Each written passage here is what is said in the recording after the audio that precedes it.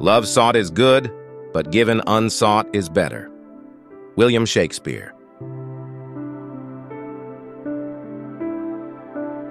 William Shakespeare, 1564 1616, was an English playwright, poet, and actor, often regarded as the greatest writer in the English language and the world's greatest dramatist.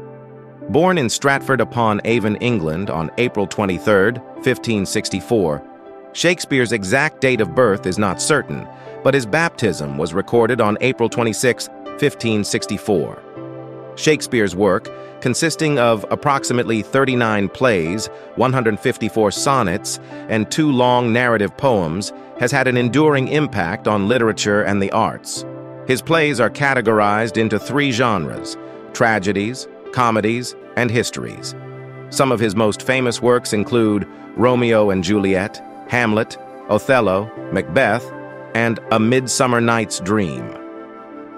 Little is known about Shakespeare's personal life, and his work has sparked much speculation and debate among scholars.